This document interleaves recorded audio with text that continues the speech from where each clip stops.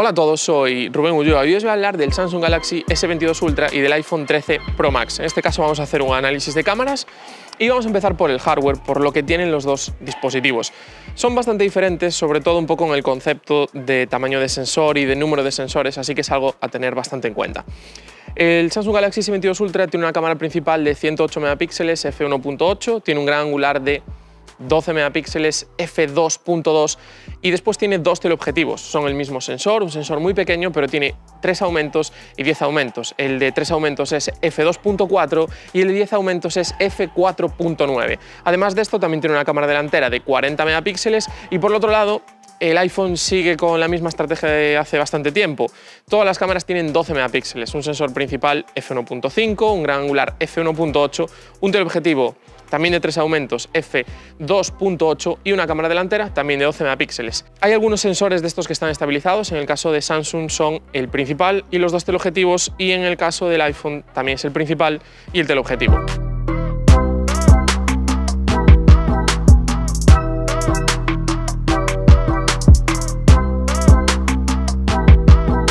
Vamos a empezar por la cámara principal y lo cierto es que aunque este tiene una cámara de 108 megapíxeles, hace fotografías a 12 megapíxeles. Mediante la unión de 9 píxeles consigue uno, con lo cual la resolución base de las dos cámaras es exactamente igual. Y esto sorprende porque al tener más megapíxeles y hacer pixel binning debería dar más nivel de detalle, pero no, ahí es donde el iPhone saca un extra y donde tenemos un poquito mejor de nivel de detalle en el dispositivo de Apple. Por contra, sí que creo que el rango dinámico está un poco mejor trabajado en Samsung y sorprende porque incluso en algunos casos, en algunas escenas, el iPhone tiene una manera diferente de leer las escenas, genera más contraste y sobre todo en algunos casos las sombras son demasiado oscuras. Creo que en algunos casos no consigue levantar bien las sombras y perdemos por completo todo lo que es el detalle en las zonas más oscuras de la escena. Y aún con eso, aún siendo una imagen más oscura en las zonas más oscuras, en las zonas más iluminadas sí que pierde un poquito ahí el rango dinámico, sí que las luces las quema por completo y no tenemos ningún detalle en esas zonas. Por lo demás, si hablamos de color y un poco de interpretación, un poco cada uno, depende de la fotografía, a veces es mejor uno, a veces es mejor otro. De manera general sí que tengo que decir que lo que es a nivel de temperatura de color y de colores globales, creo que el iPhone está un poco mejor, aunque sí que hay algunos momentos en los cuales se pierde un poco y Samsung por contra siempre intenta hacer fotografías quizás un poco más frías, pero está siempre en ese nivel, ¿no? Quizás ninguna fotografía sale perfecta a nivel de color, a nivel de temperatura de color, pero sí que es por, por otro lado que ninguna sale perfecta y sin embargo en el iPhone hay algunas que están realmente muy bien conseguidas y otras en las cuales se pierde por completo.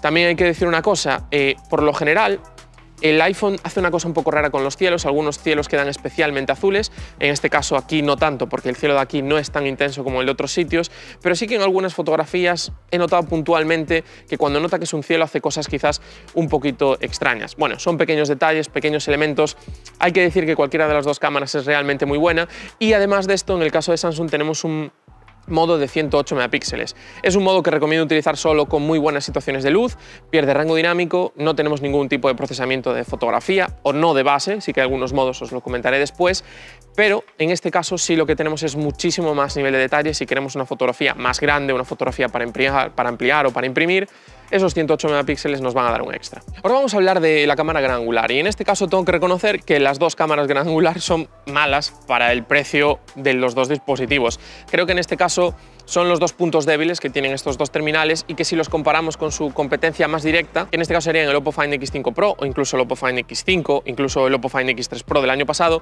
tenemos mejores grandes angulares y es algo a tener en cuenta. También hay otro detalle importante y es que Samsung es 0,6 aumentos mientras que el iPhone es 0,5, con lo cual es más angular y tenemos un poco más de ángulo de visión. Si tengo que valorar la calidad de los dos, tengo que decir que en global creo que es un poquito mejor el iPhone, pero también es cierto que en algunas situaciones se queda corto de rango dinámico. Depende un poco de la fotografía que hagas y depende un poco de la escena en la que estés buscando. En algunos cielos el dramatismo es excesivo y ahí está claro sin ningún tipo de duda que ese extra de contraste que genera el iPhone de manera general no ayuda a que las fotografías se vean bien. Tenemos zonas en las cuales se pierden por completo las altas luces y zonas que además tienen muy poco detalle en las sombras. Si tenemos una escena normal, como podría ser esta, si haciendo la fotografía hacia aquí, que sí que hay una parte del cielo que va a estar quemada, pero por general es bastante neutro todo, creo que ahí el iPhone es mejor. Si por contra nos giramos y vamos a una zona con mucho con zonas con mucha sombra y con mucha luz, situaciones muy extremas, no un poco, ahí creo que Samsung saca un extra con el HDR. Es un look a veces poco artificial, es un look que no nos acaba de gustar, en algunos casos genera un poco de ruido en las sombras, pero también es cierto que muestra más información. Y yo siempre lo digo, un poquito de ruido no está mal siempre que pueda haber un poco más de información en, eh, en, las zonas de sombra. Y ahí Samsung, en este caso, tanto en las dos cámaras, le da un pequeño repaso al iPhone. Más ruido, pero también muestra más información y es algo a tener en cuenta. Ahora vamos a hablar de los teleobjetivos, bueno, del teleobjetivo del iPhone y de los teleobjetivos que tiene Samsung. En este caso, el iPhone tiene ese teleobjetivo de tres aumentos, estabilizado, f2.8 y por otro lado, el Samsung tiene ese tres aumentos, f2.4 y también tiene un 10 aumentos F4.9, muy, mucho menos luminoso que los otros, pero tenemos 10 aumentos. Y aquí hay una cosa muy importante y es que Samsung tenía este mismo hardware el año pasado, y además te decía que podía llegar hasta 100 aumentos y eran muy malos los 100 aumentos. Y este año ha cambiado radicalmente todo. Eh, de hecho, podemos decir que hasta 30 aumentos podemos hacer fotografías, si las sabes hacer, si tienes un poco de cuidado y si buscas la fotografía concreta, podemos hacer fotografías de calidad. Y es un paso diferencial, es un punto extra que el año pasado no teníamos. Entonces aquí ya empezamos a ver unas grandes diferencias entre dos dispositivos, porque todo lo que sea hacer fotografías de más de 10 aumentos, que sé que es una situación muy concreta y un elemento puntual, pero si lo tienes, lo acabas usando, el Samsung es mucho mejor. Si hablamos directamente de la comparativa pura de lo que son los tres aumentos, sí que es cierto que quizás el iPhone en algunas situaciones me ha gustado un poco más, aunque sea menos luminoso, creo que en algunos elementos tiene un poquito mejor de detalle. En general creo que este es el punto diferencial de este año entre estos dos dispositivos. El iPhone tiene un poco más de detalle y también tiene un poco más de procesado para parecer que tiene un poco más de detalle, pero sí que es cierto que tiene ese punto. Y Samsung tiene unas imágenes un poco más blandas, ¿no? con menos detalle y que quizás por ese lado han corregido un exceso de procesado que tenían el año pasado. Así que bueno, cosas buenas y cosas malas. Si hablamos propiamente de la calidad como tal, en algunos casos vuelve a pasar lo mismo. Creo que Samsung trabaja mejor el HDR, que consigue mejor un paso extra. Si vamos a los 10 aumentos que tiene Samsung, ahí Apple no tiene nada que hacer. Y si vamos a los 15 aumentos, que es lo máximo que tiene Apple, y lo comparamos con 30 aumentos, eh, o incluso con los 100 aumentos que tiene Samsung, se van a ver mejores las fotografías de Samsung. Y estamos hablando de 15 aumentos de zoom digital frente a 100 aumentos de zoom digital. Y antes sí que es cierto que esta comparativa no tenía sentido, porque la calidad de imagen era realmente muy mala en el zoom digital, pero es que los 30 aumentos de este año del Samsung se ven realmente muy bien. Y Apple a partir de los 4 o 5 aumentos ya no llega a esa calidad. Así que en este caso, un punto muy positivo si te gusta tener versatilidad en tus cámaras para el dispositivo coreano. Si hablamos de la cámara delantera, lo cierto es que vemos que hay muchas diferencias a nivel de lo que es resolución. Tenemos 40 megapíxeles en el Samsung Galaxy S22 Ultra, aunque de manera nativa las fotografías son de 10 megapíxeles porque funciona mediante pixel binning. Y por otro lado tenemos 12 megapíxeles de manera normal en el iPhone. Aquí hay diferentes situaciones y un poco en función de cada una, el dispositivo uno o el otro lo hace mejor. Es una tendencia de esta comparativa, ¿no? El año pasado sí que era como más claro todo, en la última comparativa que hice, pero este año hay como más diferencias. Una, no es solo que una cámara sea siempre mejor, sino que puede ser mejor de día, pero excepto en unas situaciones, puede ser mejor de noche, excepto en otras situaciones, con la otra cámara pasa otra cosa también similar. Entonces aquí sí que tenemos ciertas diferencias. El año pasado, cuando hice la review original, dije que la comparativa original, dije que el iPhone quizás estaba un poco por delante, no es verdad.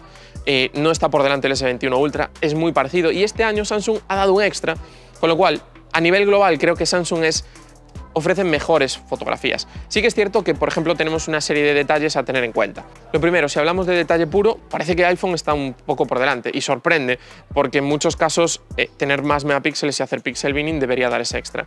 Y la realidad es esa, que es que tiene más detalle, lo que pasa es que tiene un procesado mucho más limpio, tiene un procesado que no es tan exagerado. Lo que pasa es que no da esa sensación porque en las pieles hace poco trabajo, no limpia las pieles. Entonces es como que pensamos que está procesando mucho las pieles, pero no lo está haciendo, y tenemos un nivel de detalle muy bueno en el caso del Samsung Galaxy S22 Ultra. En el caso del iPhone 13 tenemos unas fotografías correctas y sobre todo lo que tenemos, creo, es un mejor color en las pieles, que es algo que sorprende porque iPhone nunca ha sido precisamente eh, una marca que destacara por eso, siempre tenía esos tonos amarillos.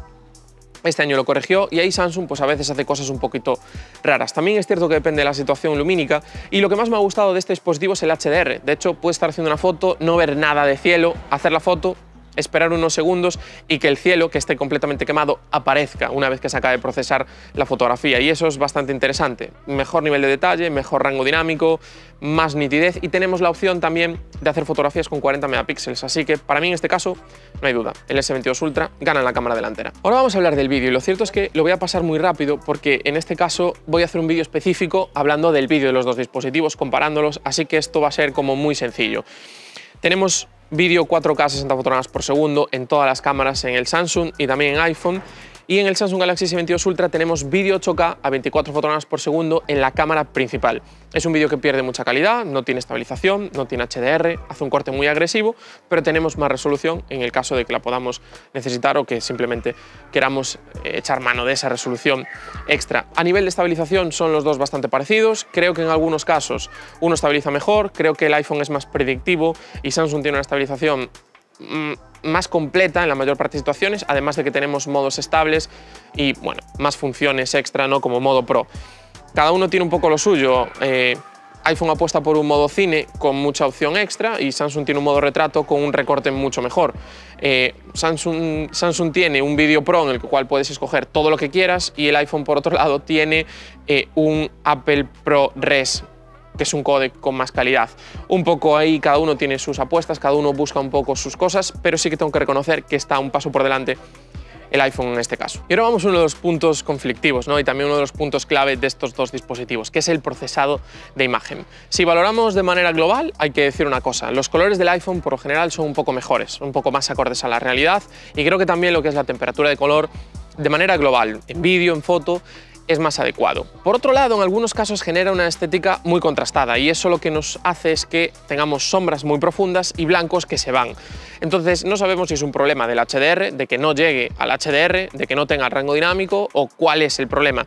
Pero en este caso tenemos que decir que en algunas situaciones vemos que se pierden las altas luces y en otras vemos, por ejemplo en esta sería una clara, que las sombras de las zonas inferiores de los árboles son prácticamente negras. No hay ningún tipo de información y eso también es un detalle a tener en cuenta. También cada uno tiene sus cosas un poquito extrañas. De vez en cuando Samsung pega un HDR que no viene a cuento y tiene unos colores un poco excesivos. Sobre todo cuando reconoce elementos como hierbas o mares.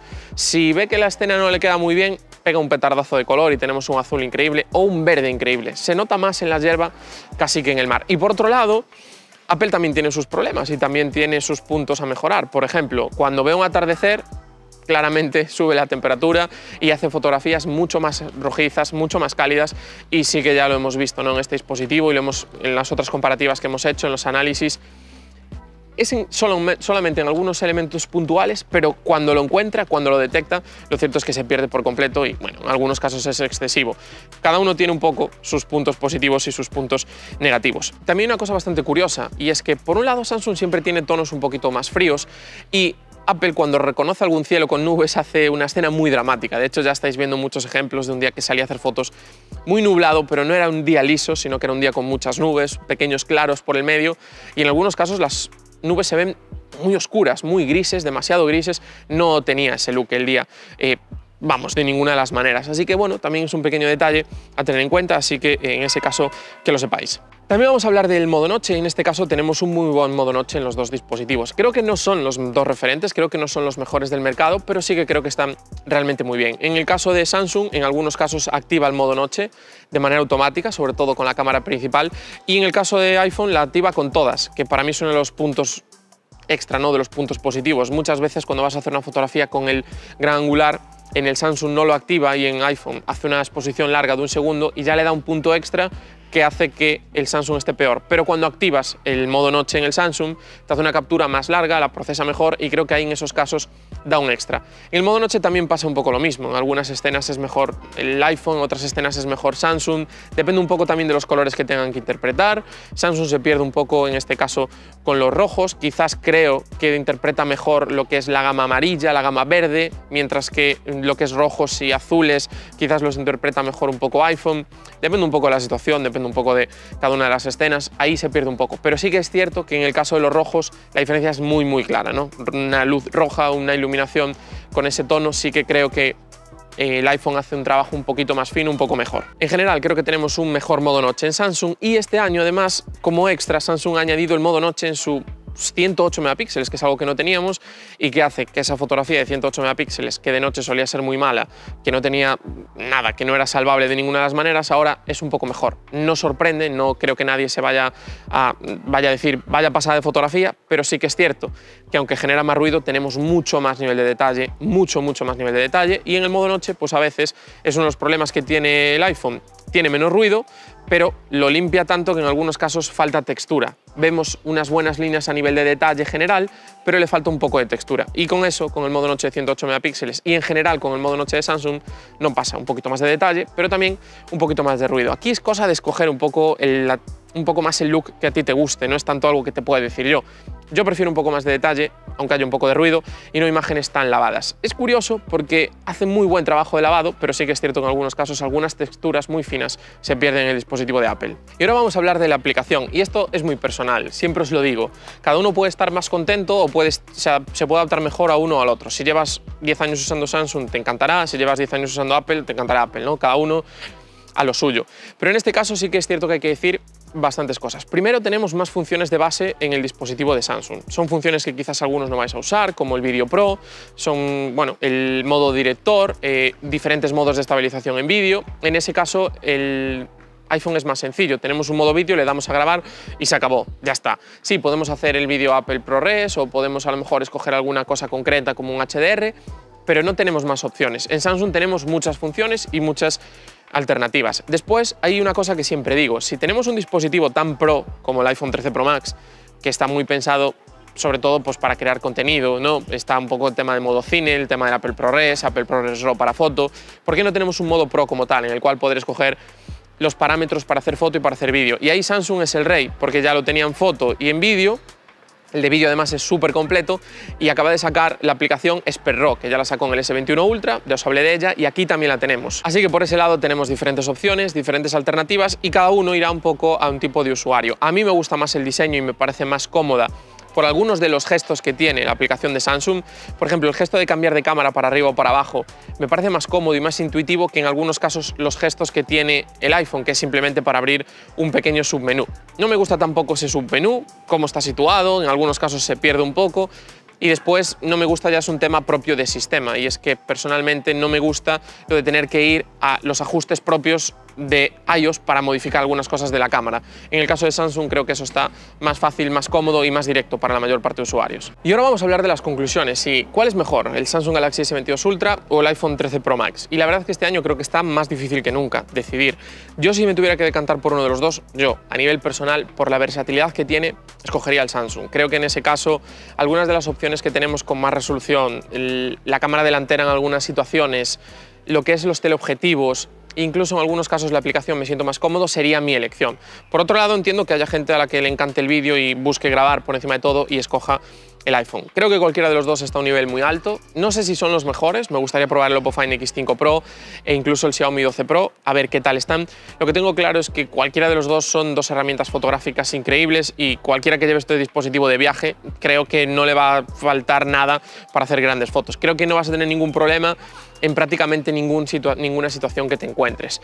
Si hacemos un pequeño resumen, si escogemos una cámara principal, creo que la del iPhone sigue un poquito por delante. Eh, la diferencia es menor a la que teníamos el año pasado, pero creo que sigue un poco por delante. El gran angular en este caso, creo que en las situaciones más difíciles Samsung da un extra. Los teleobjetivos, no tengo ningún tipo de duda. Sí que es cierto que en el 3 aumentos el iPhone hace muy buenas fotos, pero después en global creo que Samsung no tiene, no tiene rival más allá de 3. En vídeo creo que sigue estando por delante el iPhone. La cámara delantera, sí que tengo que decir que Samsung este año ha dado otro paso más y ya estaba o si no era mejor. Y después lo que es el procesado, cada uno tiene sus puntos débiles y sus puntos fuertes.